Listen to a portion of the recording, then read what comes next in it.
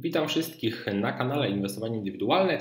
Mamy dzisiaj niedzielę, 6 listopad, więc oczywiście e, czas na odcinek z serii 3 spółki na ten tydzień, e, na początek, więc spójrzmy może na tą tabelkę e, z tygodnia, który powoli jest już za nami, a tak właściwie ten tydzień giełdowy jest już za nami od, od dobrych kilkudziesięciu godzin. A mamy tutaj Ten Square Games, KGHM oraz STS, trzy spółki.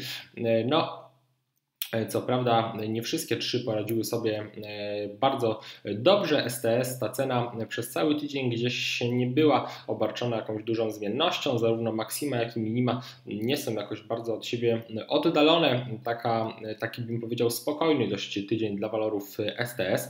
Natomiast na pewno na pochwałę zasługuje KGHM, szczególnie ta sesja piątkowa. Tam bardzo dobra postawa walorów, które, która wyprowadziła walory na coraz to wyższe, wyższe poziomy. 109 zł takie zamknięcie było obserwowane, a najwyższa cena w ciągu tygodnia 109,90, więc no tutaj bardzo bliskie te, te poziomy. Ten Square Games również taka postawa, może nie jakaś bardzo, bardzo dobra, no ale powiedzmy neutralna, z przebłyskami jednak postawy dobrej, może tak bym to, to określił, więc ten Square Games też jak najbardziej dalej do obserwacji się nadaje. Zresztą STS podobnie myślę, że to, co na wykresie obserwujemy i tam pewne, pewne zależności, jakie na wykresie nam powstały, one mogą świadczyć o tym, że choć w tym tygodniu, który za nami już jest, żadne wybicie nie nastąpiło, no to w nadchodzących dniach, może w nadchodzących dwóch, trzech tygodniach wybicie jak najbardziej na walorach STS moim zdaniem może być obserwowane, więc tutaj STS również moim zdaniem spółka do zapamiętania i i do obserwacji na najbliższy czas. Przejdźmy teraz do tych spółek trzech już właściwych, a pierwsza z nich może zaskoczenie, a może nie, to Allegro doskonale zapewne wszystkim znane.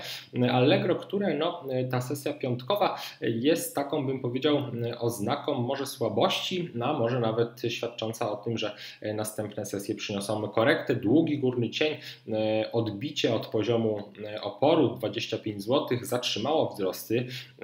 Ten długi cień górny właśnie przez to powstał i koniec końców zakończenie sesji na minusie. Co prawda niewiele, bo 34%, no ale jednak cały rynek radził sobie w piątek piątek naprawdę dobrze, więc tutaj Allegro ewidentnie odstaje. No a e, wtedy taka postawa przeciwna do rynku jak najbardziej e, dobra nie jest i jako oznakę słabości możemy to uznać. No ale jednak tutaj troszeczkę na przekór poszedłem.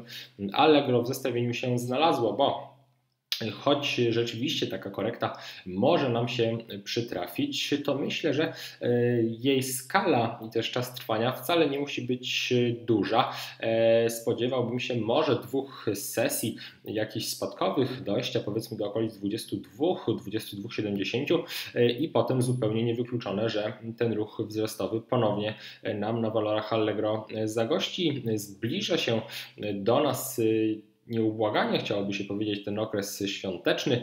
Może być to dla Allegro więc dobry czas. Wiadomo, e, okres świąteczny, prezenty, przygotowania, inne zamówienia, więc jak najbardziej tutaj poprzez Allegro zapewne wiele osób, wiele osób korzysta z tej, z tej platformy. No a więc większa ilość zamówień, co też za tym idzie możliwe, że większa ilość nowych klientów. W przypadku Allegro zapewne jakieś kampanie reklamowe będą w tym okresie realizowane ze zdwojoną mocą przez spółkę. No więc pytanie, czy takiej perspektywie przyszłości krótkoterminowej dosyć, no bo nie jest to jakiś okres bardzo długi, właśnie kurs Allegro nie będzie radził sobie dobrze i gdzieś tutaj nie będziemy obserwować powrotu na wyższe poziomy, a jesteśmy po naprawdę dużych, dużych spadkach. No ja gdzieś tutaj spodziewałem się zejścia, kiedy kurs był czy to w okolicach 60, 50 czy nawet 40 zł, no ale tak szczerze powiem, że e, myślałem, że 20 zł to taki e, poziom, który już te spadki, e, nie mówię, że na stałe, ale przynajmniej na dłuższy czas zatrzyma i od tego poziomu większe odbicie będzie obserwowane.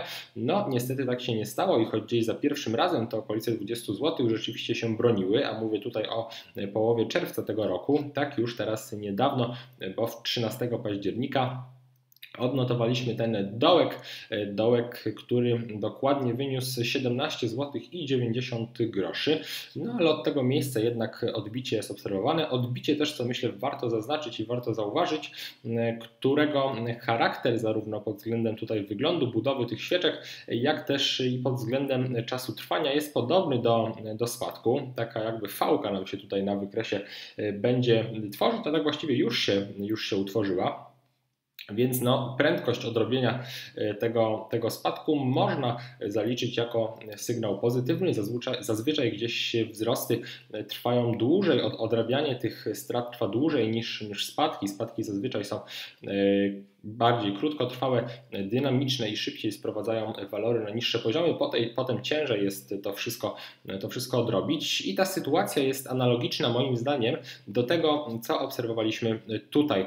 Proszę spojrzeć, wspomniany już moim, przez, przeze mnie przed chwilą dołek, okolice 20 zł i połowa czerwca. Wtedy również proszę spojrzeć, taka jakby fałka na wykresie nam się tutaj, nam się tutaj utworzyła. Dojście również do okolic 25 zł, podobnie podobnie jak teraz, poziom oporu. Korekta niewielka, tak jak już wspomniałem na początku, ja teraz też się spodziewam niewielkiej korekty, ale proszę spojrzeć potem 16% wybicie i jeszcze dalej, koniec końców, doprowadzenie do szczytu tego wybicia w okolicach 29-80. No i ja myślę, że teraz scenariusz, który możemy obserwować w ciągu najbliższych sesji, może być podobny. Czyli jeszcze raz powtórzę, moim zdaniem teraz jak najbardziej korekta, 2-3 sesyjna E, o niewielkiej, o niewielkiej skali. No a potem e, ja osobiście jakiegoś wybicia na walorach Allegro bym się spodziewał. Jesteśmy po sporych, e, po sporych przecenach kursu. Myślę też, że inwestorzy gdzieś tam zbierali sporo tych akcji podczas, podczas dołków. Jakaś wymiana akcjonariatu może pod, teraz podczas korekty nastąpi i jakiś ruch wzrostowy już się zrealizuje z nowym akcjonariatem, z nową, z nową energią. Myślę, że jest to scenariusz prawdopodobny. Dajcie znać, co sądzicie o walorach Allegro. A jeszcze na koniec zasięg takiego wzrostu, no to moim zdaniem mogły być na przykład okolice między 26 a 28 zł.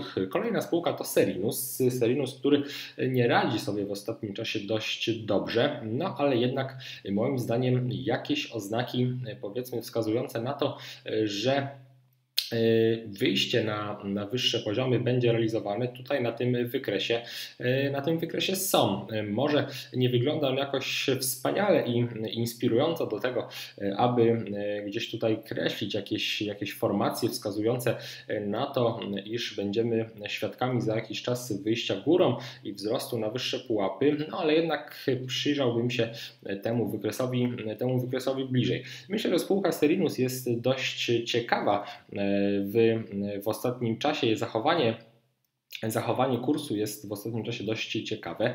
Obroty, co prawda, nie są w ostatnim czasie jakieś wielkie, natomiast kiedy mamy sesję prawda, z jakimś wzrostem, a takie wzrosty w przypadku Serinusa są dość duże. Mamy sesję z 27, potem 36% wzrost, więc takie pojedyncze wybicia, potem co prawda one są dość szybko, dość szybko oddawane, no ale jednak obroty podczas tych wybić wskazują, że gdzieś tam zainteresowanie E, powiedzmy akcjami Serinusa e, jest. Może to e, tylko takie obroty spekulacyjne wywołane przez jakieś chwilowe podłączanie się do ruchów, następnie szybkie wyrzucanie akcji, no a może nie, może ktoś po prostu te, te akcje podczas, czy to przed tymi wybiciami, czy już w trakcie samych tych wybić zbiera, akumuluje od dłuższego czasu i na przykład czeka na właściwy moment, aby te akcje potem na wybiciu w rynek gdzieś upychać. Taki scenariusz oczywiście też jest możliwy.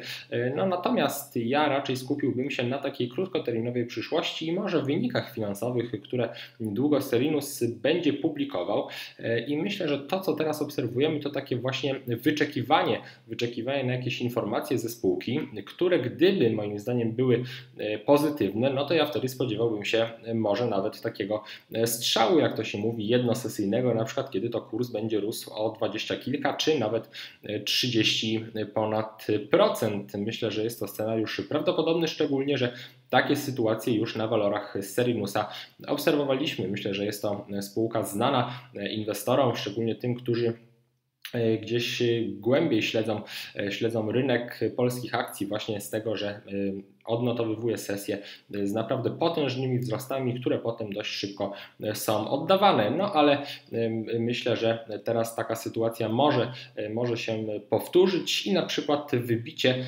powyżej poziomu na początek oczywiście 6 zł, to taki tutaj lokalny zapewne opór, a docelowo na przykład okolice 6,75, 7, 7 zł. Byłoby to zupełnie moim zdaniem możliwe i dla mnie nie byłoby to zaskoczeniem.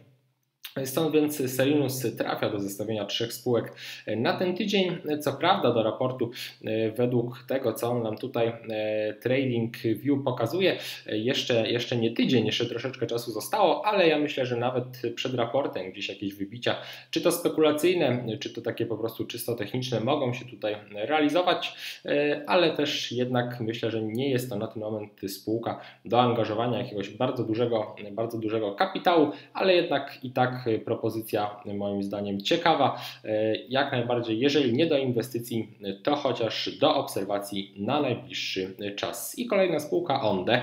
Onde, które szoruje po dnie i to moim zdaniem już tak definitywnie e, po tym dnie szoruje i niewykluczone, że od tego dna będzie odbijać. Nie zatrzymały spadków w okolicy 10 zł, nie zatrzymały spadków w okolicy 11 zł. Wydaje się, że dopiero spadki wyhamowały na poziomach poniżej nawet 8 zł, gdzieś okolice 7,80, 7,90 te spadki zatrzymały.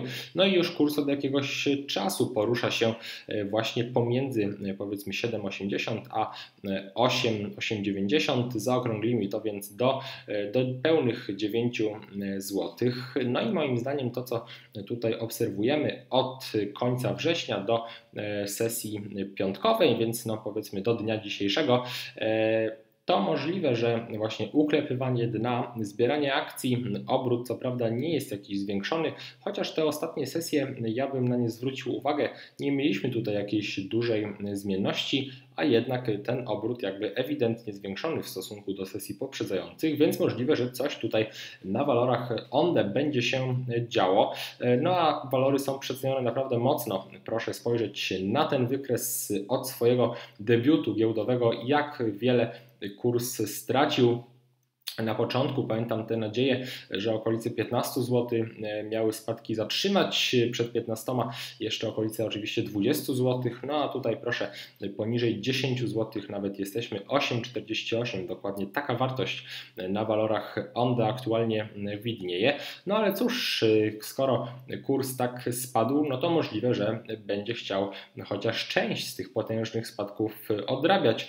Myślę więc, że myślę więc też, że ONDE, jeżeli jeżeli e, rynek będzie sprzyjający, jeżeli cały rynek będzie radził sobie dobrze, to walory ONDE do, tego, do tej dobrej postawy rynku się e, przyłączą i wykorzystają te swoje 5 minut i wtedy moim zdaniem będzie to okres, który pozwoli walorom ONDE jak najwięcej z tych spadków odrobić. No a zapewne takie odrabianie i taki pierwszy cel tego odrabiania, no to oczywiście poziom 10 zł. No i to jest właśnie e, taki cel, który tutaj dla walorów ONDE ja bym wyznaczył okolice 10 zł jak najbardziej możliwe moim zdaniem do osiągnięcia, biorąc pod uwagę e, zachowanie kursu w ostatnim czasie, to szorowanie po dnie, to jakby e, taka akumulacja walorów przed, przed jakimś wybiciem, które może w najbliższym czasie się, się zrealizować. Onde również moim zdaniem aktualnie jedna z ciekawszych spółek na rynku głównym, spoza takich, spoza takich bardziej, bardziej rozpoznawalnych. Mam wrażenie też, że Onde gdzieś na początku dosyć głośno Onde było, dość, dość sporo na temat Onde się mówiło, czy to w przypadku jakichś programów giełdowych, czy to artykułów, czy to analiz. Teraz mam wrażenie, że spółka troszeczkę jakby zapomniana, a szkoda, bo możliwe możliwe, że tutaj na kursie i na wykresie będzie wiele w najbliższym czasie się działo. Takie oczywiście jest moje zdanie, a jak będzie zobaczymy, dajcie znać co sądzicie o Onde, dajcie znać co sądzicie o Serinusie i oczywiście o Allegro, czyli o trzech spółkach na ten tydzień z tego odcinka. Dziękuję wszystkim za uwagę. Zachęcam do oglądania oczywiście innych materiałów, do komentowania, oceniania i oczywiście do subskrybowania kanału, jak też i do udostępniania kanału na gdzieś, czy to grupach inwestycyjnych, czy to jakichś innych, innych miejscach, gdzie takie materiały są pożądane. Jeszcze raz dziękuję za uwagę i do usłyszenia. Cześć!